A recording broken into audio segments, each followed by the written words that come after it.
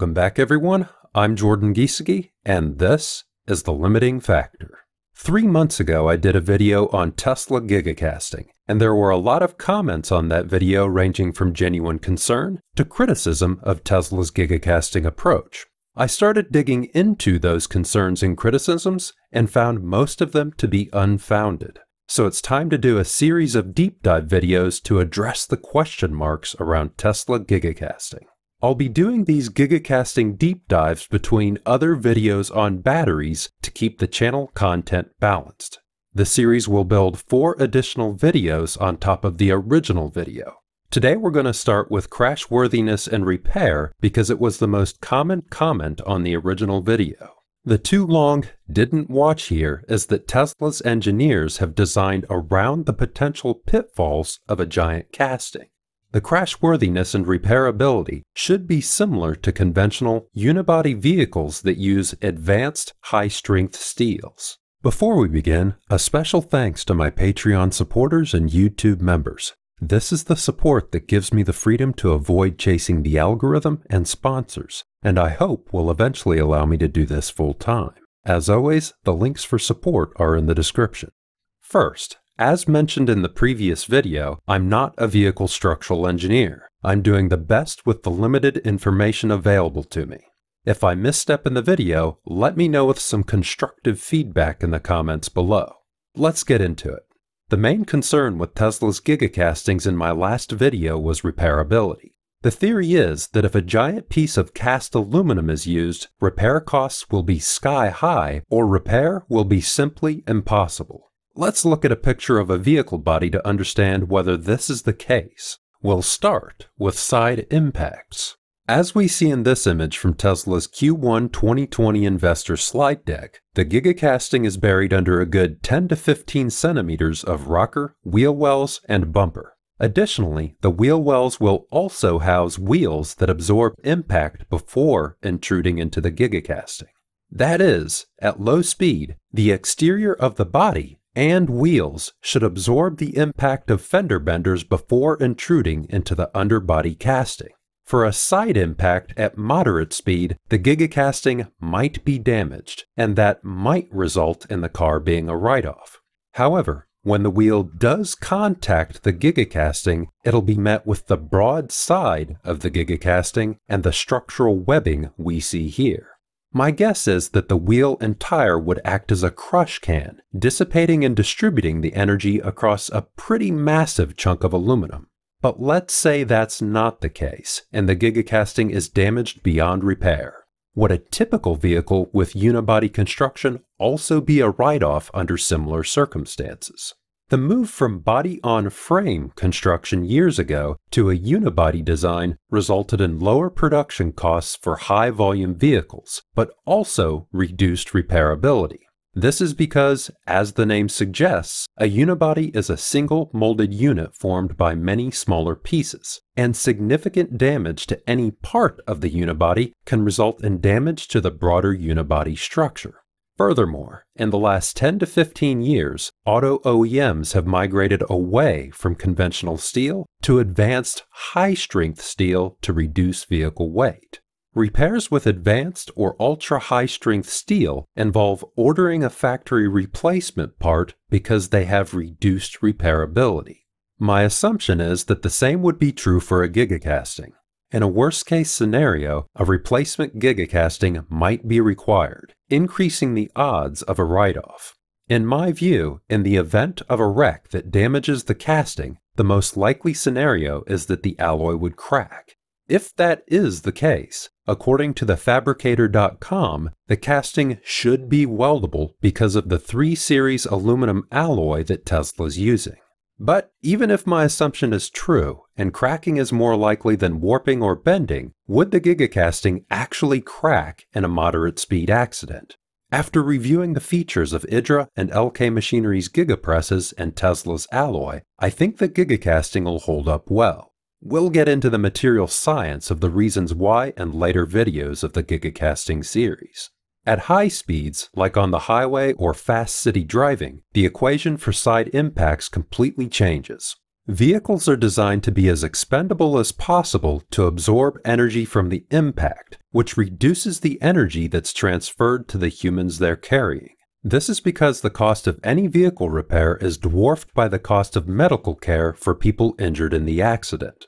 For this reason, my guess is that most vehicles are written off when they get in accidents at high speed, regardless of whether it's a side impact, front, or rear impact.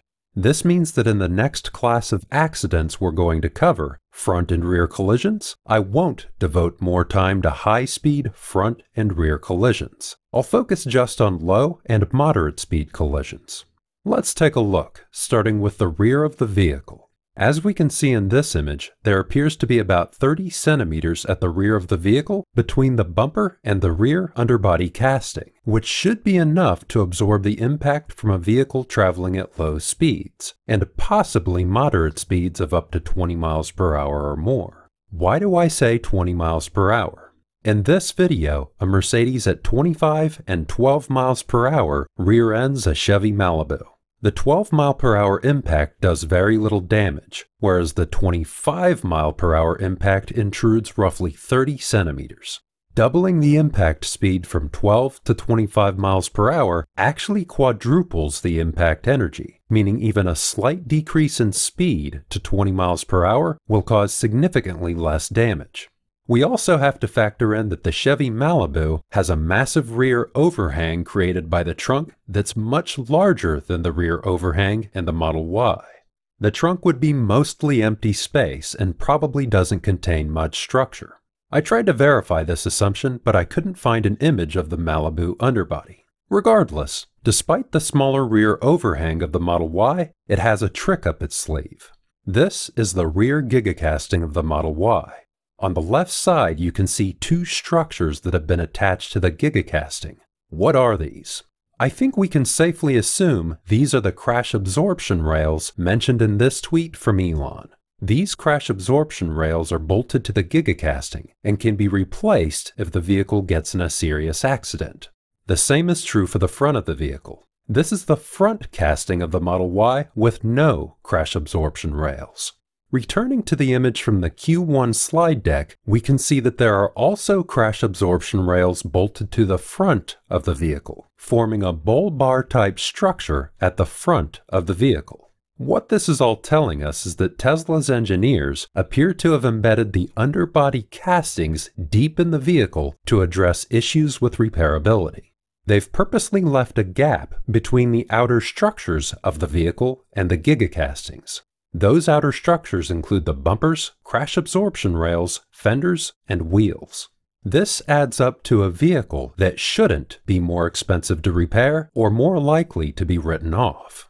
But let's say that's incorrect, and Tesla vehicles using a gigacasting are noticeably more expensive to repair and are more likely to be written off. When it comes to accidents, Tesla vehicles have benefits that other vehicles don't. They have some of the best driver's assist safety systems on the market, which reduces the number of car wrecks that Tesla vehicles get into in the first place. As a direct result of that, Tesla vehicles have a different risk profile than other vehicles on the market. Insurance companies haven't given credit to Tesla vehicle owners for this, and Tesla has started their own insurance service, Tesla Insurance, to drive down insurance costs for Tesla owners. It's slowly being rolled out market by market, but hopefully it'll eventually be available to all Tesla owners. This means that if Teslas with gigacastings do have higher repair costs, the accidents are less likely and may be offset by Tesla's cheaper insurance product. In summary, the most likely scenario is that crashworthiness and repairability of Tesla's vehicles with a gigacasting is similar to that of a conventional unibody vehicle. At low speed, the car crash won't intrude far enough into the structure of the vehicle to cause issues.